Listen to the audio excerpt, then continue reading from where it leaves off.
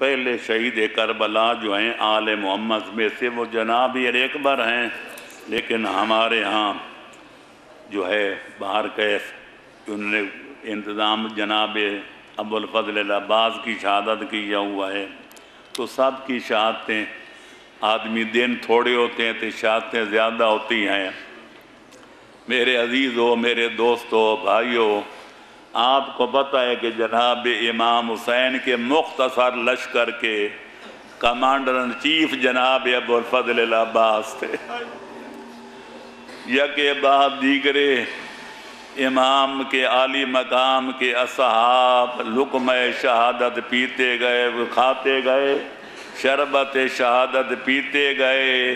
फिर जब आल मोहम्मद की कुर्बानियों का वक्त आया तो सबसे पहले शहीद जनाब शहजाद अली अकबर हैं।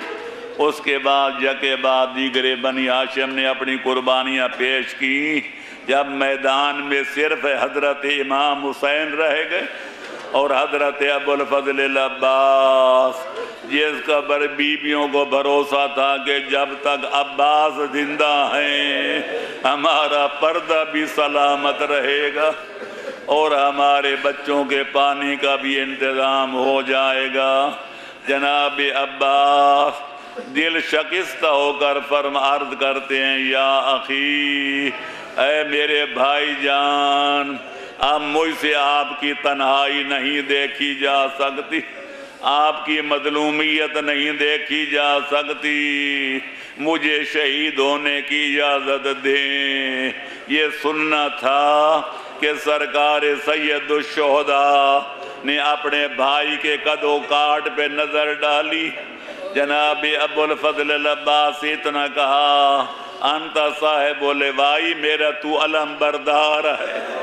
और जब किसी कौम का लंबरदार काम आ जाए, फिर उसके बाद फिर रात सिया होती है। आप जनाब अब्बास ने अर्ज़ किया, जनाब, लश्कर कहाँ है? जिसका मैं अलम्बरदार हूँ। सारे तो शहीद हो चुके। इसी बुखो तो हो रही थी कि बच्चों के रोने की आवाज़ आई। क़याम हुसैनी से अल्लाह तश अल्लाह तश की आवाज़ें बुलंद हुई।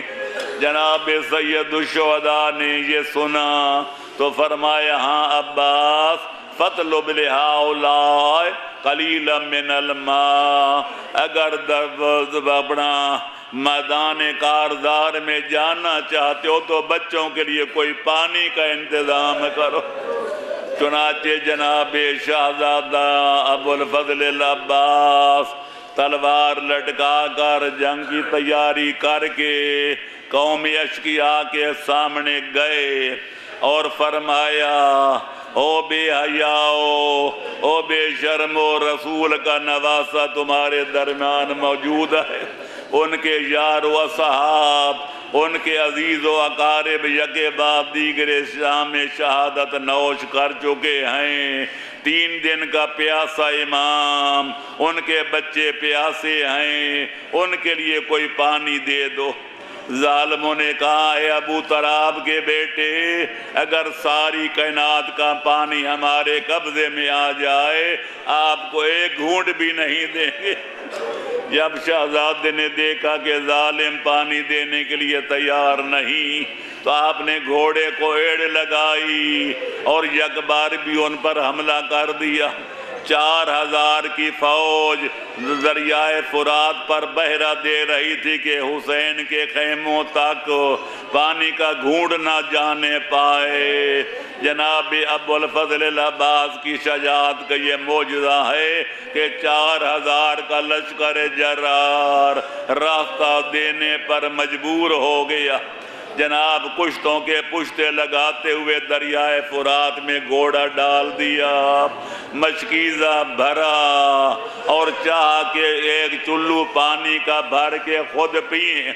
जब पानी मुँह के करीब गया तो जकरा अतशाखी हुसैन, शहजादे को अपने ख़ानदान की और इमाम आली मकाम की प्यास याद आ गई और वो चुल्ली पानी का नीचे फेंक दिया। कहा, अब्बास, ये शान वफा के खिलाफ है। तेरा आका मौला प्यासा हो, उनके बच्चे प्यास से बिलक रहे हों और तुम पानी पियो। पानी डाल दिया। और मचकीजा भर के बाहर निकले। अब फौज फिर जमा हो चुकी थी। उनकी कोशिश है कि पानी का कतरा ख्याम हुसैनी में न पहुँचने पाए।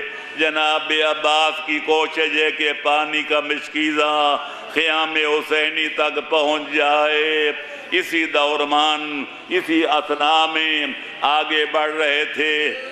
मुखालफत मुजाम मुखालिफ मुजामत कर रहे थे कि एक मलून ने कमीन गाह से छुप कर दाएँ बाजू पे सवार किया कि उनका दाया बाजू काट के ज़मीन पे गिर गया।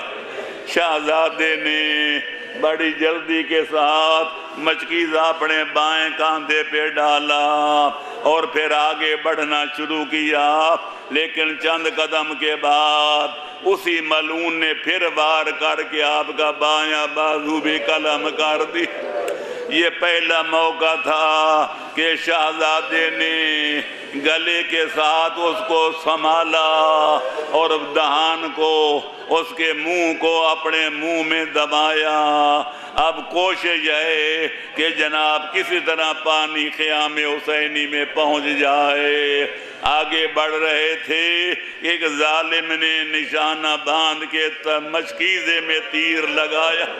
मशकीजे को तीर का लगना था। कि पानी ज़मीन पे बह गया। शहजादे का दिल बैठ गया। वो सोच रहे थे, मैं किस मुँह से गहमे में जाऊँगा? और क्या जाकर शहजादियों को मुँह दिखाऊँगा? बच्चों को क्या बताऊँगा?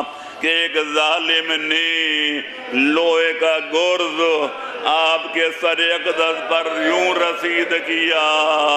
कि सर के दो टुकड़े हो गए और गले में अपनी बाएँ घोड़े के गले में डाल दी और उसके बाद तिवरा कर ज़मीन पे गिरे और आवाज़ सलाम दिल्ला सरकार इमाम हुसैन ने उठे और उधर दौड़े जिधर आवाज़ आई थी। मैं क्या अर्ज़ करूँ? जब इमाम शाहजादे की लाश पे आए, अपने भाई की लाश अकदस पर आए तो देखा जनाब अब्बास मौत की कशम कश में मुबतला थे। सर अकदस शिगाफ्ता था। दोनों बाजू कट चुके थे। इमाम ने रोकर फरमाया, लान, इनका सर जहरी वकल्लती लती। अब्बा तेरी मौत मेरी कमर तोड़ दी। और मेरे हीले तदबीरें ख़त्म हो गई। मतलब ये था, अब अलियो बतूल की चादरें, बेटियों की चादरें नहीं बच सकेंगी। अब बच्चों के पानी का कोई इंतज़ाम नहीं हो सकेगा। इमाम जारो कतार रो रहे थे और ये फरमा रहे थे, मेरी कमर का ज़ोर। अबुल फजल मुझे तना छोड़ के चले गए। मेरा इंतज़ार न किया।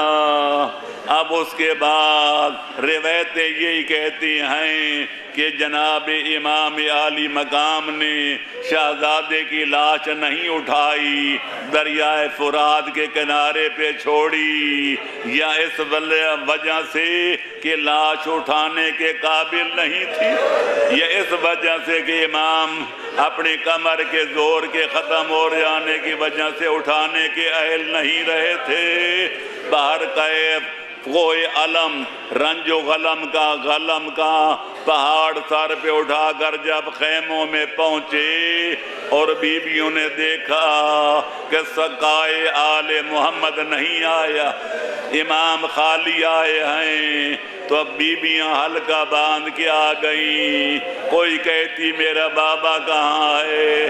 कोई बच्ची कहती, मेरा चचा कहाँ है? कोई बच्चा, मैं कहता, मेरा चचा कहाँ है? मेरा बाबा कहाँ है? इमाम सबको तसलियाँ दे रहे हैं कि जालमों ने उनको शहीद कर दिया। अल्लाह के बारगाह में चले गए। लिहाजा वो कोहरा में मातम बपा हुआ। मालूम होता था क्यामत का जलजला आ गया है और ज़मीन करबला तहबाला हो रही है। अला लानतुल्लाह अलल कौम ज़ालिमीन। वसयअलमुल्लज़ीना ज़लमू।